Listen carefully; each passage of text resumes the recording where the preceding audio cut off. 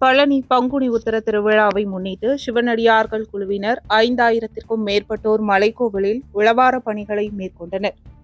அறுபடை வீடுகளில் மூன்றாம் படை வீடான பழனி தண்டாயுதபாணி சுவாமி கோவிலில் ஆண்டுதோறும் விமர்சையாக கொண்டாடக்கூடிய திருவிழாக்களில் ஒன்றான பங்குனி புத்திர திருவிழா வருகின்ற பதினெட்டாம் தேதி திங்கட்கிழமை காலை ஒன்பது மணிக்கு கொடியேற்றத்துடன் தொடங்கி தொடர்ந்து பத்து நாள் நடைபெறுகிறது. இதனை முன்னிட்டு அனைத்து சிவனடியார்கள் குழு சார்பில் பல்வேறு மாவட்டங்களில் இருந்து வந்திருந்த சிவனடியார் குழுவினர் ஆறாயிரத்தி ஐநூறு பேர் நேற்று ரயில் மூலம் பழனி வந்தடைந்தனர்.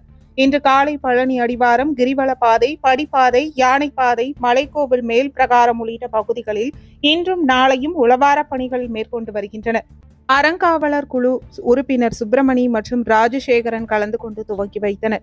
இதில் சிவனடியார் குழு நிர்வாகிகள் கலந்து கொண்டனர்.